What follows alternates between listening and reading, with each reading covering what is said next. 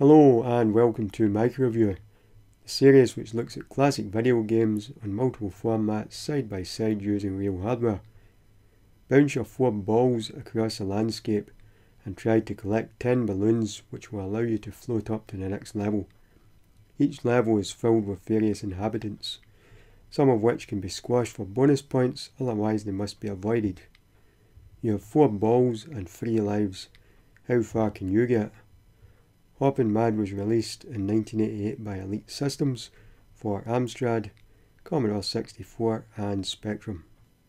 Hoppin' Mad was previously released in 1987 under the name Cataball for the Commodore 64 on Hit Pak's Trio compilation.